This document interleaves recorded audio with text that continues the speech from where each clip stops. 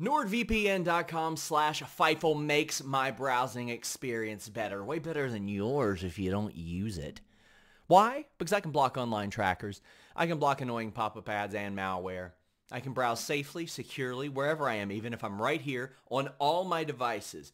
This laptop, actually this is a desktop. What, what am I saying? But this laptop right here, this phone right here, that router over there, the TV over there, all with nordvpn.com slash Fightful. You can also save on pay-per-views. Maybe you want to check out AEW without commercials. Maybe you miss the old WWE network. Maybe you want to buy a big UFC pay-per-view with an overseas service at a much more affordable rate. NordVPN.com slash Fightful not only has you covered, but when you get one of their plans, you're effectively going to save yourself money. And I'm going to save you some more. Four months free on top of that deal and a 30-day money-back guarantee nordvpn.com slash Fightful. What's up, you guys? Sean Ross Sapp, Fightful here with a name you know. Even though he doesn't do many of these, I- am a member of the Two Timers Club here. A rare Rickey Shane Page interview. How you doing, man? Good to hear from you again. Good. I'm doing good. I mean, yeah, I don't really like doing interviews that much, so I know, and I'm, i always feel like privileged when I get a Rickey Shane Page interview, which has happened twice now because I know that you don't do many of these. Uh, but I mean, you got big career changes going on. You're you're with MLW now. I'm excited to learn how exactly this came about. Yeah, I mean, I did the Battle Riot last year. Um, that was my first time coming and working for them, and then yeah, they asked me back earlier this year, and I think when was it? February, January. I can't remember now. My my, my brain is all over the place. But yeah, I it just kind of happened. It happened real fast. Uh, the last show, the last tapings, the one before the last tapings, um, I w- had the craziest travel schedule of my like entire career. Yeah. And I showed up, and they were like, "Hey, you're doing this and this and this and this," and I was like, "What? What? Okay." And I just kind of did it, and I didn't really like clock what was going on. And then the next show, we were doing more stuff, and I was like, man, they're really, I'm doing a lot. Like this is kind of cool. And then they offered me the contract, and I was like, oh, it kind of happened out of nowhere, to be honest. yeah. So I mean, when that happened, I mean, you're the type of guy that. I don't think anybody would be surprised to learn that any company offered you a contract, given your resume and, and your level of work in the ring. Uh, so MLW, I, I, hit them up immediately after I heard that, and I was like, please tell me more. And they were really excited to have you, but they also mentioned you're going to be helping doing like some agenting work as, as well. Yeah, I, I guess that I, I didn't know if they were going to go public with that or not, but yes, I am. I will be working backstage as well. So I mean, is I, I get the feeling, and it's just my assumption that given your place in wrestling and how experienced you are and the places you've been, that's probably something that you've helped out with either formally or informally places before. Anyway.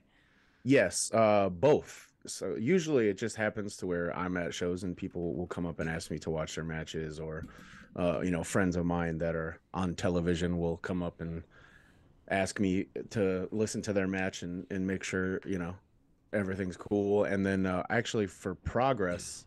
I think SummerSlam weekend pre-pandemic, uh, I, they brought me in to agent all the matches. I didn't even wrestle for them. I just I just oh, did wow. that back, backstage. So, and I've done it before when the last couple tours I've done for Progress, I've wrestled and um, done that. So a little bit of a player coach situation. Uh, but yeah, I, I really enjoy doing it. It's very fun. It's a skill set that I think I'm good at, and that uh, I feel like more wrestlers should learn this and learn how to do it because you can't take bumps forever. So. And I, I, like seeing active performers doing that even more because it's always great to get you know get people who are out of wrestling as well. But something that I've heard a lot, like for an example, Ariya Daivari doing it. People are like, well, it's great because he is completely in tune with the style and pace of today as well. So we're, we're we got a bit of everything. Uh, like what what was it about that that really appealed to you and said, hell yeah, I'll do that as well. Um, like I said, I've always really liked doing it, and um, it just happens to me naturally anyways. People always ask me to help them their matches so i might as well get like paid for it now. Yeah. But uh but yeah i just i really enjoy doing it. I always um i always have better ideas for other people than i do myself half the time because people can do things that I can't. So I'm very limited being so big. Uh, I want to be a cruiserweight, but it's just not the cards. so I'll have like much better ideas for other people. And and when and when you're in the match playing it, you kind of get stuck in your like, okay, this is like an RSP match. I have to do it the way I do it. And um, but when I'm looking at it through through someone else and I, it has nothing to do with me, I just become a little bit more creative. You mentioned the Battle Riot. I'm I'm a geek for battle royals. I love them. I don't care how terrible they are. I don't care how boring they are. I love them. It, it I grew up loving the Royal Rumble so much, and that's a lot of like what the Battle Riot is. What was that experience like for you? Because it's one of those things where it's you'll see Taya Valkyrie in there, you'll see Gangrel in there, Savio Vega's gonna pop up there doing two or three different things. Like it's it's just a lot of fun. It, it appeals to my ADHD that I was diagnosed with when I was younger because it's constant. It's excitement, but also it can be chaotic to put together or be a part of as well. 100% especially for like a tv product you know there's a lot there's a lot more that goes into it because the the announcers have to be on, on, on point the camera people have to be on point the agents have to be on point the wrestlers have to be on point it's just like a big team effort yeah um and it was super fun because again there's a lot of people that i know at mlw and a lot of people i respect and you know, and guys like Savio Vega and like Nunzio and stuff like that, like people I, I just was a fan of when I was younger. So very chaotic, very crazy, but it, it, it came off without a hitch, and it, it, I think it turned out really well, and I really liked my part in it and uh yeah it's just but and i got to i got to like you know be in there with like sami callihan who's like a friend of mine that i've sure. known forever and uh and Killer Kross, who's a, became a good friend of mine recently so like great guy it was just fu- it, yeah i love him he's the best and uh it's just kind of cool to be in there and just especially like when you're in a battle royal with like some of your friends you just kind of start joking around saying weird stuff while you're in there because you know, it's not like physically taxing too much most of the time you're just like trying to throw someone out so uh, but yeah, it's it's just fun. I love battle royals too. Sami Callihan, who I bury I bury him privately to him because he'll always hit me up to retweet revolver stuff. But when I say, "Hey, what's up with that contract, man? You when, when's that contract up?" He's like, "What what are you talking about?" I don't I don't know, Sammy. What what contract am I talking about, Sammy? I don't know.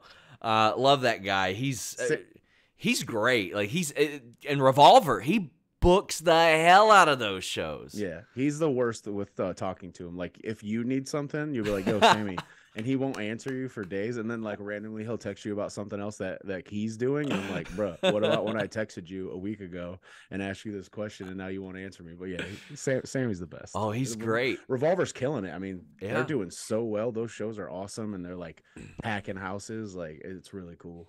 Another awesome thing you did recently, you got to go to Japan, and I remember you. You, I feel like you went there maybe once or twice right before the pandemic. I feel like you were there shortly before the pandemic, and maybe a little bit before that as well. But obviously, when what happens happens, you ain't going there. Like I know a lot of people who wanted to get over there and just couldn't for a couple of years. Uh, what did that mean to you to be able to uh, get back to Japan? Yeah, it was awesome. I honestly didn't think I was ever going to go back. Uh, I went five times in 2019. Wow, jeez, yeah, man. Yeah, I did. I did a lot of tours over there that that year, and then um, I've gotten to go back twice since this most recent tour. Uh, so yeah, I really didn't think I was ever gonna go back, and uh, like. I really didn't think I was gonna go back because I stopped doing death matches. So yeah. I was like, oh, like there's no way like another company's gonna like bring me over for that. So I'm just so surprised that I got to go again, to be honest. And and I love Japan. It's like one of my favorite places I've ever been. So like uh just being able to go there and experience the culture again. And this time I had a little bit more time. Like when I went before with BJW, I'd be there for like two weeks and I'd have like 10 shows. Yeah. So this time I was there for like a month and I had like I think 10 or 12 shows. So I had a little bit more time to like explore Tokyo and I was actually in Tokyo this time like before I was always in Yokohama, which is about 40 minutes outside of, of Tokyo. So I got to like really see Tokyo a lot. And um, I, I, we did a show in Osaka and Kyoto. So I had, and I had more time there too. So we had like a little bit of time to walk around and like actually see stuff. So the BJW schedule was really, really hectic and, and, and they do it quick and fast, but the DDT schedule was a little bit more lax. So it was, it was, uh, I got to experience more this time yeah, I loved seeing that you were you were back there. And again, like, there were so many people that wanted to go there the last few years and didn't get that opportunity. You you had mentioned that you stopped doing death matches. I remember you, you posted that publicly. You're like, hey, nothing against it, just I'm gonna move on from that. how did you feel like the reception was from fans who came to know you via death matches or or really loved that work? Did you feel like they were understanding or did you get any blowback from it or, or was Um, it I how was it? I think both. I think that people really enjoyed me doing that, and it was something I was very good at. Um, and I think that uh, people, a lot of people were like, "Hey, man, you did your time. Like, you did everything that there is to do in deathmatch wrestling. Like, you don't owe us anything anymore." Um, so I think it was a bit of a mixed bag. I'd say more positive than negative, and I think people just miss me doing that because deathmatch wrestling fans are like rabid and they're they're loyal. Sure. So um I think they just miss it, but like yeah, I just I just couldn't do it anymore. It was too hard. Um the healing process was just way too much and like I just I could feel myself uh being afraid, which I never was before. Yeah. I, I could feel myself kind of going like, "Oh god, no, no." And that that's when someone gets hurt. Like not even myself, like other people. If I have any sort of hesitation, like some I will hurt somebody and I don't want to hurt anybody. There's the risks are so much greater in deathmatch wrestling and, and I don't think people really understand that. Even the some of the people that are doing them, they think it's like easier or you just kind of do whatever you want and it's like no, you have to take even more care. And um, Yeah. so I just didn't want to hurt anybody and honestly. I have a theory as to why you signed with MLW. Okay. You needed the extra work because Ethan Page moved to the United States and did not require a toy mule. That's you know what? Probably. Uh, I still have I, I still have a bunch of his toys here because I haven't seen him. Even though he lives like two hours from me. Yeah, he's not far. No, he's not far at all. I just haven't seen him because he's he's busy. I'm busy, but I still have a bunch of toys that I just I haven't get, got to give him to him yet. I haven't even been to his new house yet. I need I need to get up to Michigan and go see. Him. He went. He bought it in Detroit, right? Uh, somewhere outside. I'm not exactly sure where. I was gonna but yes, say he's gonna get in a that area. he's gonna get a five thousand square foot house for like twenty bucks out there. Like it's for sure. I randomly had to go to Detroit like for a indie show, as RPW show, and uh it was like day of kind of decision. yeah. And I did like this run in and I cut a promo. And he, he before I got home, he texted me. He's like, "You're in Michigan," and I was like, "Yes." Uh, I was like, he's like, "Why did you tell me?" I was like, "Bro, I just found out about it today. Like, it just came together. Like, I'm driving straight back home." He's like, "Fuck you!" Like, I was just like, "Bro, I'm sorry, I haven't seen the house yet." But yeah, it's very funny. one one of my favorite like I, I want to say interviews. It was more of a conversation where it was like you, him, and MJF. Was that the one where he like where MJF was showing off his his football highlights? yes, and when he kept going, that's me. Yes, yes, with the circles and stuff around it. Yeah. And Oh my- Hulk Hogan's music playing. Yeah, of course, of course it did. Uh, he he for sure. He he didn't buy that off iTunes. He didn't license that. He was pirating that for sure. Oh, for sure. Uh, speaking of AEW, you had the opportunity to work a few matches there, specifically against Paul Wight, which is what I'm interested in, or as I call him, Tall Paul. Uh, Yes. How was that experience? I mean, I know that those a lot of those matches were kind of abbreviated, but I mean that's that's one that almost everybody that's in wrestling right now grew up watching Paul Wight because he's been everywhere. Yeah, that is a crazy story just in general of how it came together. Um so that was the first uh, Arthur Ashe show. Mhm. So there was like 20,000 people there. I was there. like- oh, were you? Yeah, I That's- was there. yeah, it was wild. So like the day before the show, MJF called me and he's like, "Hey, what are you doing tomorrow?" And I was like, "Nothing." Why? He's like, "Can you be in New York?" And I was like, "Sure." He was like, "I'm probably gonna get him in trouble," but he- he was like, "I told them you were in New York already and they need guys." And I was like, "Okay." So I literally got, I went spray tanned. I took a shower, spray tanned, packed my bag, and just drove overnight to New York. And I went, I slept on Ethan Page's hotel room floor and I woke up the next morning and I was having the free continental breakfast uh, for a room that I didn't have at the hotel. Thank you, Tony Khan. Uh, but but uh, I was eating and and uh, Aubrey, the ref, came up to me and she was Yeah. like, "Oh hey, do you know what you're doing today?" And I was like, "No." She's like, "You're wrestling Paul Wight." I was like, "Shut the fuck up." I was like, "No, I'm not." And she was like, "Oh yeah," and I was like, "Uh, okay." and like that's literally how it happened. So shout out MJF. He's he's always looking out for me. He's the best. And uh, yeah, so it was so cool. Like Paul's great, super good brother.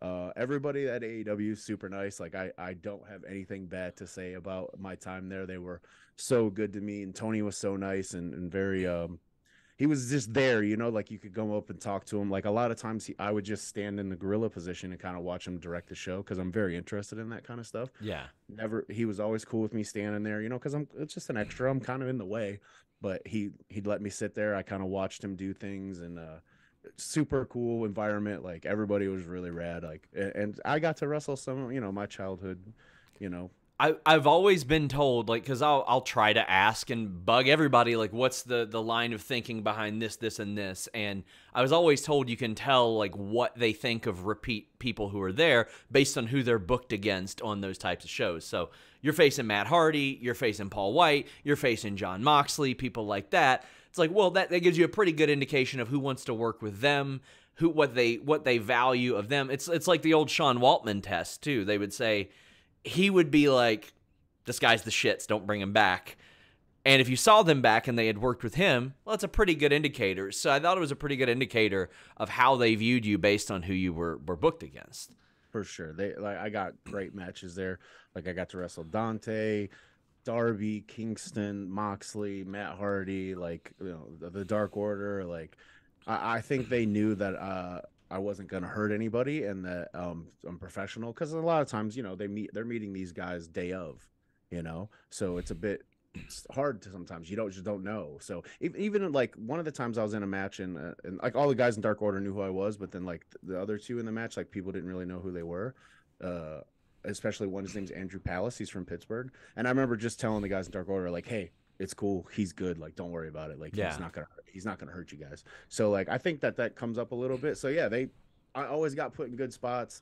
Like I I wrestled. Well, I remember the one time I, I wrestled Danny Garcia uh, at the Dark Tapings in Orlando, and um before I went out, like Tony Tony Khan got up and goes, "Hey man, like you guys have never wrestled each other." I was like, "Yeah, no, we haven't." He's like, "I was trying to find a match of you guys wrestling on the Indies." He's like, "Couldn't find one." I was like, "I couldn't believe that you guys have never worked." I was like, "Yeah." He's like, "That's why I booked this match. Like, have fun." I was like, "Oh, thanks, man." So like, this is a really cool environment. Like, very, very, I very much enjoyed my time there. It felt like you worked there like all over the map too, like on on the east side, because otherwise they'll they'll bring in people from like California when they're out there. But I mean, like you're working in several different states, and there are some people they'll only bring it in Florida, in Texas, and the like. So I, I thought that was great. And even though you said it might get MJF in trouble, when I write the headline, MJF lied to AEW, he's that that Grinch hit the Grinch smile will pop up on his face. Like he'll he'll love that. Like he absolutely loves that shit. Max has always been great to me. Like he, he always looks out for me, and like uh, I, I can't I, I can't repay him enough. Well, Max is an asshole, but his dad sends me paleo bagels, so that's that's nice. like, I love the bagels.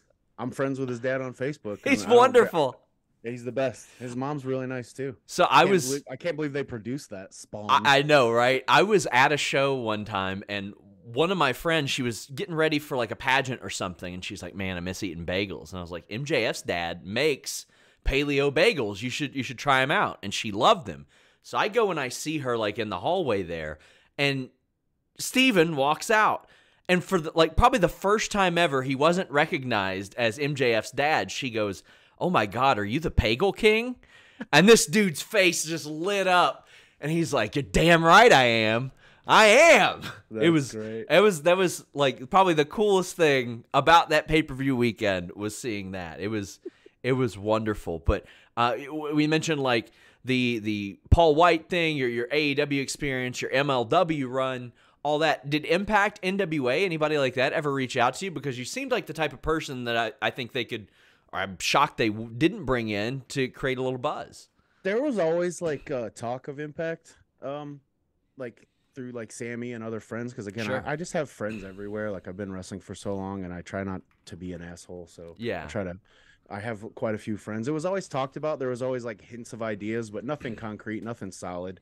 Um, I just feel like there's a lot of wrestlers out there, and there's a lot of people getting contracts, and and and sometimes you just get lost in the shuffle. And and again, I'm not 20, so I totally get it. Like even at AEW, like I was never like mad or anything like that. It was just like I get it. They got a lot going on. The same thing with Impact. You know, they're they're growing company. They got a lot going on.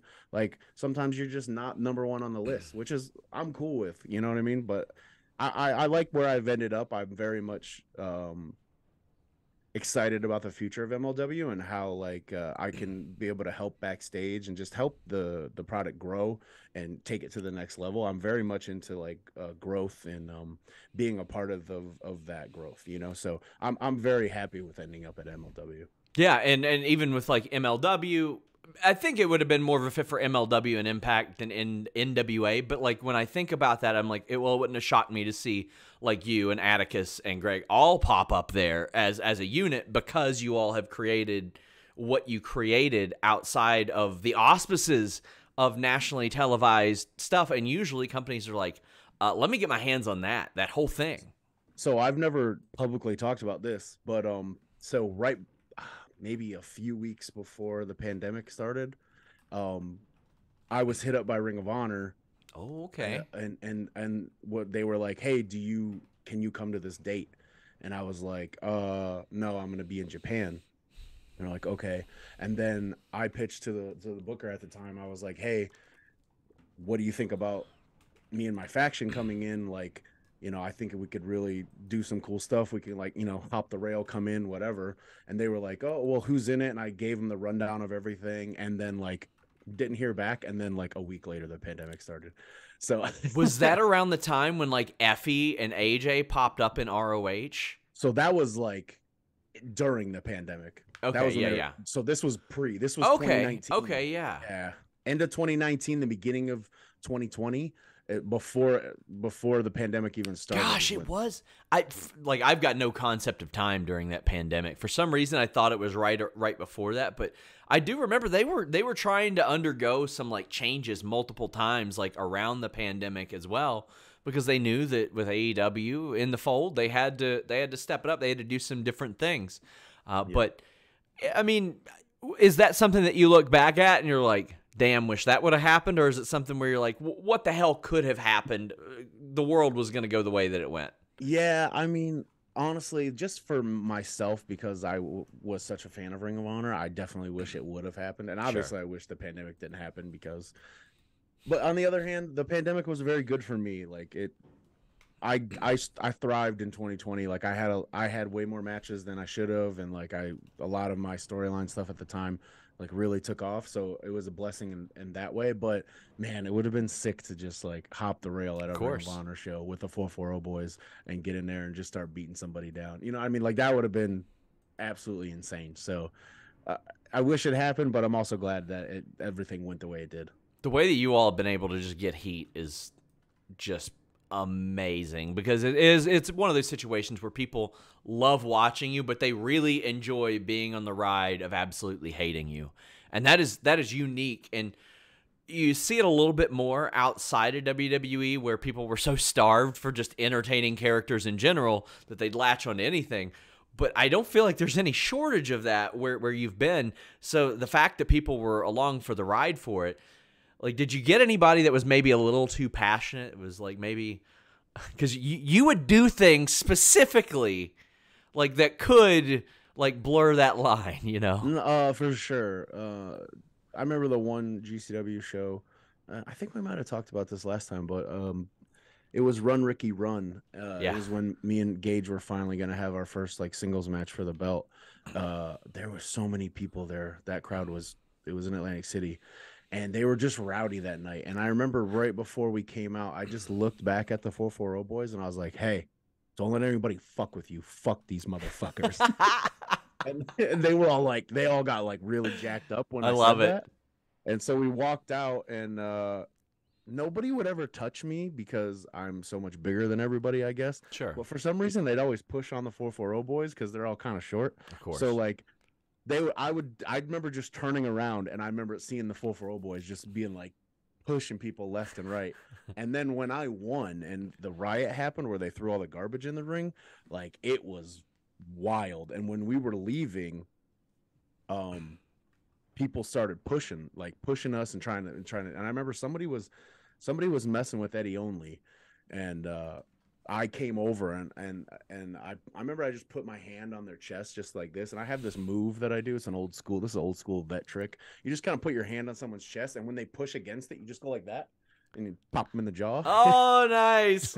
so I was like, put my hand on him. He was like trying to hit us, and he was pushing on me, and I just popped him in the jaw a little bit. And he was like, "Whoa!" And I was like, "Don't touch us, man! Like, get out of here!" So we kind of had to a little bit fight our way out of that one. Um, but that was probably the most, uh, the most intense it got, to be honest. So when when you come into MLW, like uh, this most recent run, you're immediately put with Mance. Like what when you're told that, what's your reaction? Because I mean, you had what I thought was one of your best matches ever was with Mance.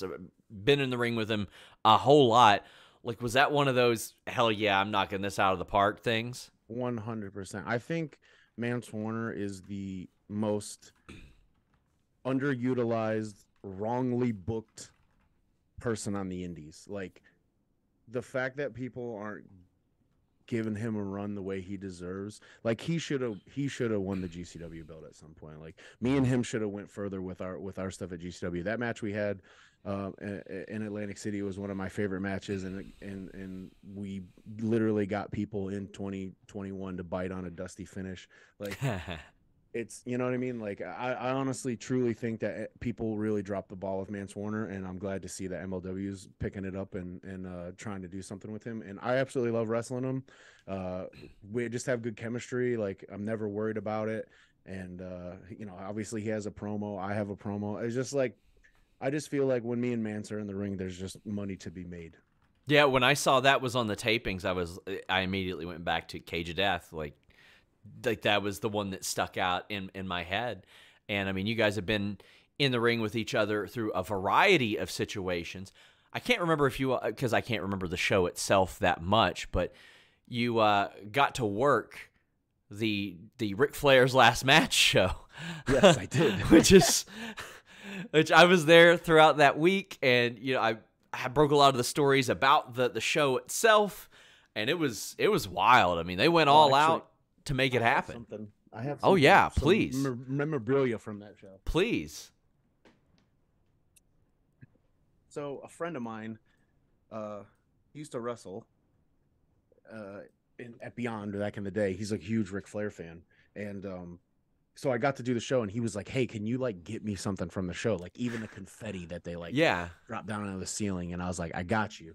So I went around and I picked up. So I picked up this. Oh, that's great so I have this. I got two of them. Uh, one I kept one for myself and I put it in a port in a, in a in a frame, and then I got another one for him. It just is a gorilla position from the to show you where to go backstage. Uh, so yeah, I, I, I took one of those. Yeah, I, Conrad has always been like super cool with me. He's like, great. Uh, yeah, he like um we had uh, Eric Bischoff uh, do a little film a little thing for us one time for 44OH it was like he said like the following announcement is paid for by the yeah. 44OH and that was just I just asked Conrad I was like hey can can you ask Eric to do this? Like it, it, could even be like a webcam, him sitting down for your guys' podcast. Like I don't care. And he, I have like a two or three minute long video of Eric Bischoff saying this the following announcement is paid for by the 44OH, like 15, 16 different ways. and there's like a green screen behind him with like the 44OH logo. Like Conrad just went above and beyond. and um, I remember Conrad just reached out to me and was like, Hey, do you want to do something on the show? And I was like, absolutely. And, uh, so he asked me to do that, and I was in that battle royal. And I remember him being like, "Hey, I'm really sorry that you you're only in the battle royal." And I was like, "Dude, it's fine. Like I yeah. don't need to be like it, this is like murderer's row of like it was a good one. Yeah, that yeah. show was awesome, and like I was like, just the fact that I'm even here, and I said the I was like, the only thing I want is I've never been to Starcast. Like, can I get a hotel room for the whole weekend? And I'm, I'm i drove down because I wanted to drive because I had been flying yeah. a lot that recently, and I was like, I can't get on another plane right now. and Nashville's not that far from me, so I drove down. He had me a, a, nice hotel for the whole weekend. I went to Starcast, hung out, went to the the roast, and just like it was it was super cool weekend. Like it was a good time. And I remember at the end they were like gathering everybody up, and they're like, "Hey guys, go out there, go out there, just go stand by the ring." For Flair's like you know a, a retirement yeah. speech. I was like, all right, cool. What then? Flair was like, outside the ring and I was like, what do you want us to do? They're like, just go out there. So like me and Blake Christian just happened to be like the first people to walk out. So we walked around the ring and we just ended up standing behind him. So the whole time he's talking, like just me and Blake Christian are standing there. And like I remember sitting there and being like, this is really weird. And then I like looked over and I was like, oh, that's uh the Undertaker and Bret Hart. I was like, oh, and Foley. I was like, oh my god, like what the what is going on? it was wild. It's so I- wild. there was people backstage. I remember I literally like actually bumped into Kid Rock. Like I physically I did not into- know that he was there. he was just hanging out. So I like was coming around this corner and I bumped into someone and I was like, "Oh, my bad." And I like looked up and it was Kid Rock. And he- and WWE like- Hall of Famer Kid Rock. and I bumped into him and I looked and I was like, "Oh, what the fuck?" and he started laughing and I was like, "Yo, my bad, dude." He's like, "No." He's like, "There's too many people over here." I was like, "Yo, Jeff Jarrett's over there, like in his locker room. Go say hi." He's like, "Oh, for real?" He's like, "Yeah." So he like walked away, but I like actually bumped into Kid Rock. It was Just a couple a surreal moment. just a couple of southern music stars right there, Jeff Jarrett and, and Kid Rock. You love it. but Yeah, it was I always found it weird that Kid Rock was like, "Yeah, Southern rock." He could piss into Canada from his back porch, I think. 100. percent So I'm like, he's out there living next to, to Ethan Page right now, somewhere. Mhm. My God, you Yeah, you that show was crazy. you mentioned that absolutely wild. gorilla position thing that you have. Are there any other like sentimental things that you you've kept or anything that you've come across that you're like, hell yeah, I got to keep that. Uh, I I have a lot of stuff, and most of it's in the storage down downstairs. Um, I've only recently started to get a bit sentimental about stuff Mhm. Because sometimes I'm like, oh man, I've done so much stuff, but I really don't like. I'm not a big collector. I don't keep things. Yeah. Um, the few things that I have are mostly just like personal wrestling stuff. But um, I'm trying to think if there's anything cool. I was able to give a, a guy who I called his MMA fight and he knocked a guy out and the dude's blood got all over my notes. I was able to give the guy that knocked him out the notes and he was like, "Fuck yeah."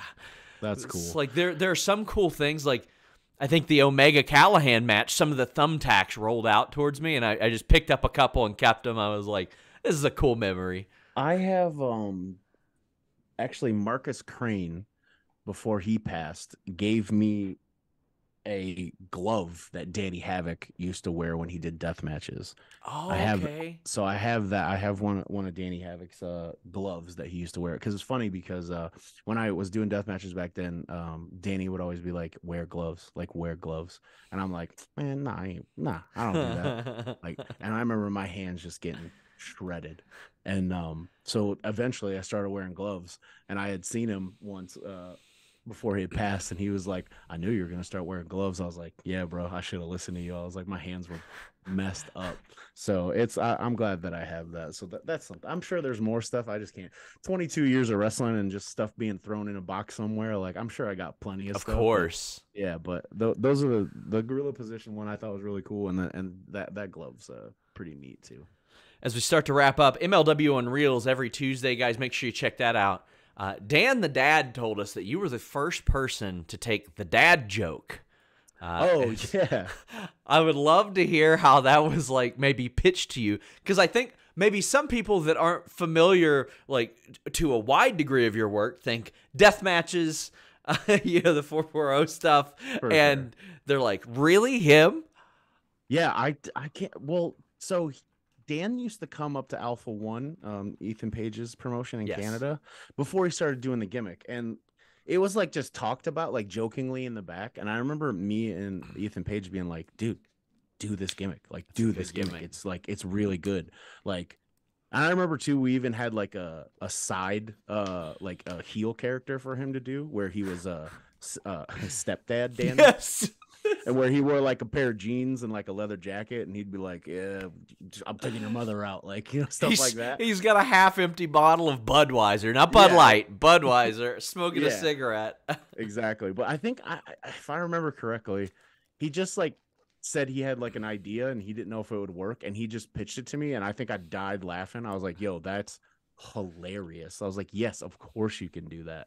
if I'm not mistaken, I think that might have been a scramble for freelance wrestling, and we all were on the apron, and it was like two at a time, like an old school Ring of Honor um scramble, the way they should be done. Young people, if you don't know what I'm talking about, but anyways, um, so I remember like Dan was on the apron, and they were just like they wanted Dan in so bad.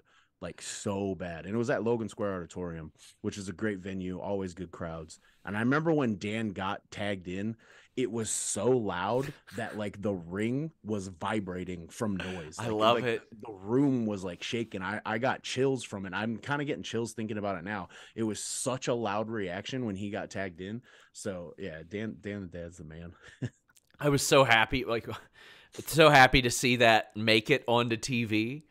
And For uh, sure. one of our interviewers like popped me. He goes, "Did you check on Toa Liona afterwards and like apologize for working stiff?"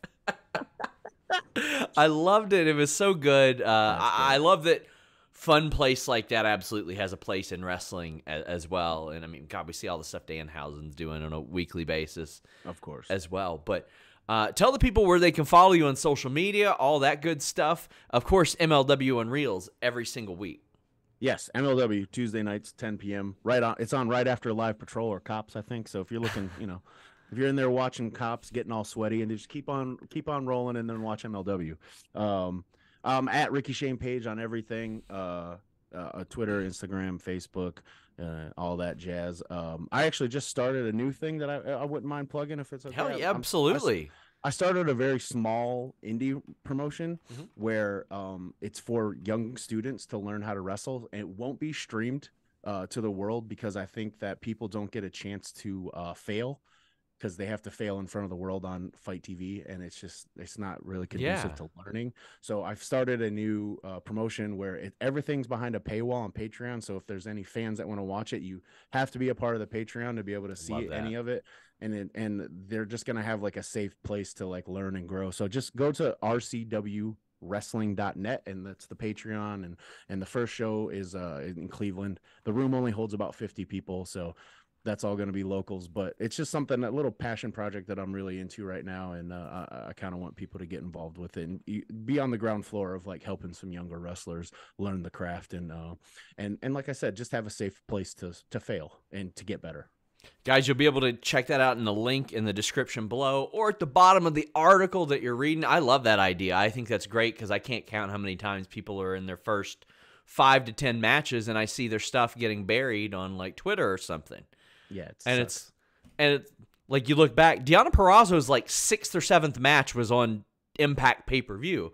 Like not everybody like learns eh, that way, and they they Ashley, you know Ashley D'Amboise. yeah she was like Her on first match ever was on Dark. It was on Dark yeah That's and she's really good. She and is. luckily she did well. But like, imagine if your first match ever was on Dark. That's crazy. yeah You know. So like, I I I had so many little indies to like learn and mess up and. Thank God no one saw them. You know, they, weren't, they weren't even recorded. You know, for that matter. So like, that's kind of what uh, like the idea behind this. It's a small indie. I got replica belts with stickers on them. Like, I'm really. I love it. I'm making it like a real promotion, but it's just for learning purposes. And I'm also the other side of it is I'm gonna have some of my veteran friends agent in the back. oh, that's incredible. They, they can learn from them, and then also my friends that may not think that they could have ever done that as a job could get a little bit of experience doing it, and that's maybe something they want to pursue. You know, um, later on at a, much higher level, and I also think that the indies in general could really use agents, and I think that's something that uh, I think indie promotions should start doing. To be honest, is it's because uh, things just become repetitive and and people don't learn and and it it's just it's not good for wrestling so that's kind of where the whole idea behind this is I once went to an indie and three straight months they brought in their name, right? One one month it was Al Snow, one month it was Shark Boy, one month it was Eugene. I go there and I watch them. Month one, Shark Boy is biting the local guy's ass the whole whole match, and I'm like, oh, okay. The second month, Al Snow is trying to shove head up the local guy's ass the whole match, and I'm like, wait a minute.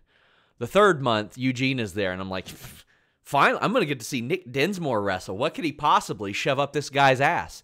He spent the whole show shoving his thumb up the local guy's ass. And I was like, oh, all right then.